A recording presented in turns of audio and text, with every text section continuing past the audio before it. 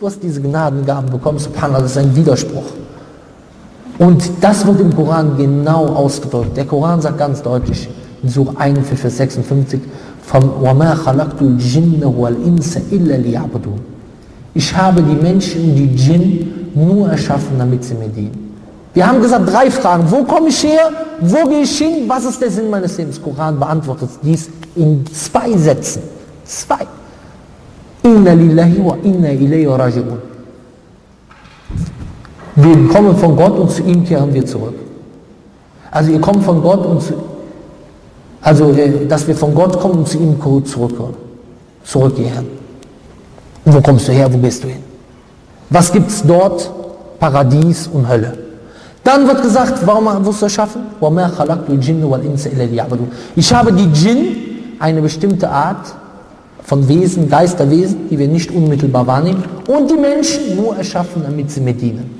Jetzt wird natürlich sofort jeder die Frage stellen, wie kann es sein, Gott erschafft uns, damit wir ihm dienen? Hat Gott das Bedürfnis, dass wir ihm dienen? Ist eine logische Schlussfolgerung, eine Frage, die man stellt.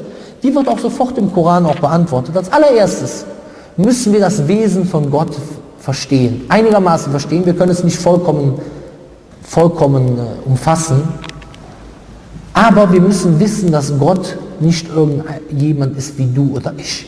Gott ist anders als alles, was wir uns vorstellen.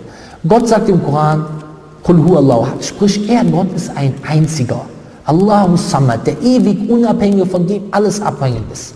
Lem yelit wa lem yulit. Er hat nicht gezeugt und er wurde nicht gezeugt. Wir kommen alle von irgendetwas, aber er hat keinen Anfang und kein Ende. Und nichts ist ihm gleich.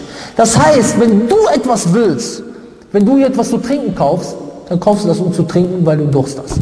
Wenn du, und wenn du es nicht bekommst, dann hast du einen Mangel, eine Mangelerscheinung. Wenn du, ein, dein Nachbar ein dickes Auto hat, trifft nicht auf jeden zu, und du willst dann auch ein dickes Auto haben, weil du neidisch bist auf deinen Nachbarn, dann hast du ein Bedürfnis, was du dir nicht erfüllen kannst. Wenn du etwas essen willst, oder wenn du eine Frau haben willst, oder einen Mann, je nachdem, ja, und du kriegst das nicht, dann hast du einen Mangel, eine Mangelerscheinung. Das ist ein Mangel für dich, ein Verlust für dich. Aber das bist du. Das bin ich. Aber das ist nicht Gott. Denn Gott ist allmächtig. Er hat dich erschaffen, um ihm zu dienen. Braucht er deinen Gottesdienst? Absolut nicht.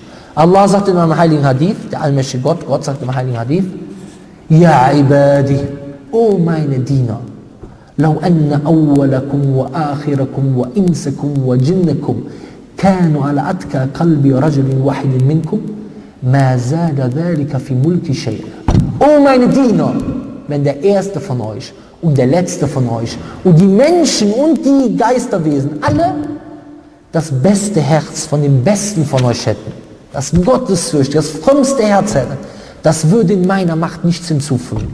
Dann sagt er, ja ibadi, o meine Diener, لو أن أولكم وآخركم وإنسكم وجنكم كانوا على أفجر كلب رجل واحد, واحد منكم ما نقص ذلك من ملك شيئا Oh meine Diener, wenn der Erste von euch und der Letzte von euch und die Menschen und die Djinn, die Geisterwesen, alle das Sittenloseste, Herz von dem Sittenlosesten von euch hätten, das würde von meiner Macht, von meiner Herrschaft nichts wegnehmen. Das heißt, Gott braucht dich nicht. Du brauchst ihn. Und das Problem ist nur, dass viele von uns zu arrogant sind. Diener hört sich für dich schlecht an. Aber der Islam befreit dich. Denn du bist jetzt Diener von so vielen Faktoren. Du bist Diener von dem, Diener von dem, Diener von deinem Nachbarn. Was denkt der über dich? Was ist mit dem? Was denken diese Leute über dich? Aber dann, wenn du Islam annimmst, bist du von diesen ganzen Diener, von dieser, von dieser von, dieser Sklavenschaft, von diesem Sklaventum gegenüber der Schöpfung befreit. Und du bist nur noch Diener des allmächtigen Gottes. Und wenn du Diener des allmächtigen Gottes bist, was ist der erste Nutzen, den du bekommen wirst? Der erste Nutzen ist, dass du ein glückliches Leben führen wirst. Subhanallah, in welchen Ländern, viele reden über die islamischen Länder, das soll sich keiner angegriffen fühlen, in welchen Ländern ist die Selbstmordrate am niedrigsten? trotz Selbstmordanschläge. Die islamischen Länder, das sind nicht meine Worte, das sind Statistiken. Es wird immer über die islamische Frau geredet, wie sie sich fühlt. Wer redet darüber, wie sich die islamische Frau fühlt? Alice Schwarzer, Angela Merkel, Madonna, Britney Spears, Mariah Carey? Frag die islamische Frau, wie sich die islamische Frau fühlt. Frag nicht mich, frag meine Frau. Alhamdulillah, weil Glücklichkeit, glücklich sein ist nicht etwas, was abhängig ist von der Länge der Haare, was abhängig ist von der Figur, weil du hast viele Frauen, die schön sind und viele Frauen,